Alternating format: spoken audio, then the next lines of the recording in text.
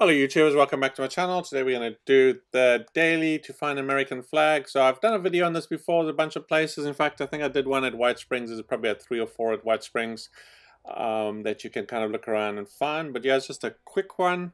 Um, so just the daily, yeah, which is find American flag. They're all over. There's actually a whole list. I actually wrote down a list. But I am at Prickett's Prickett's Fort here. So I'm going to show you where to find the flag. So if you are looking for one, you're struggling, you can't find one, uh, come up to Prickett's Fort. Um, and if you're in this main area, there's got the parking lot with these cars here.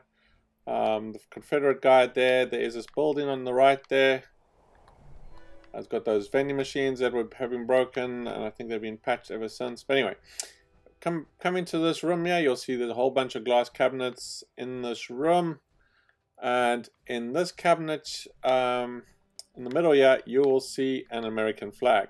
So this is probably one of the, the easier locations. Just hit the button on the wall to your right here, and we are going to take this flag. And that will complete that challenge. So very easy. Like I said, there's a whole whack of places. Um, the other place, as I mentioned, White Springs, there's, there's a whack there. There's at Camp um, at uh, Camp Camp McClintock, which is down here, uh, over here. there's a flag there.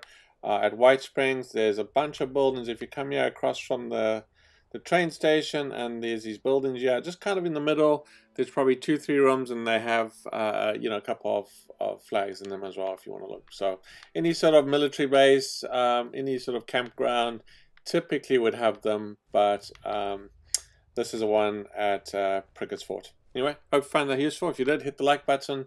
And if you haven't subscribed to the channel, please do so. It does help me out a lot. Thanks for watching.